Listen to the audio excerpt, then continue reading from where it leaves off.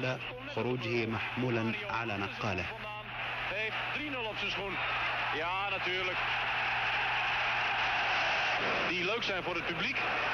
Niet altijd effectief, maar bij deze 3-0 kan het. Romario, Ellerman, Hovanet 4-0. Van Aarle. Met hem en met Valks heeft PSV toch een aantal dienende spelers in de ploeg die nuttig zijn. Romario krijgt die bal op een presenteerblaadje en scoort nummer 5. Deze bal van Hovanet. Heinze, Kieft aannemen. Nog eens Kieft. En dan een goal van weer Romario. Terwijl ook Ellerman in de buurt was. Omdat de PSV'ers juist in die kleine ruimte beter zijn. Dan gaat Romario weer. En daar is Ricardo de Jong. Romario verstapt zich.